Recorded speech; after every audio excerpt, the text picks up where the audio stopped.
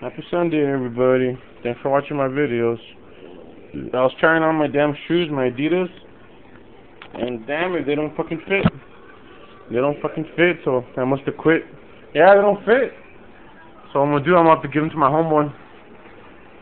My homie, he's a farmer. He he, he rides that tractor right there. Yeah, so I'm gonna go and give it to him. Give them to him.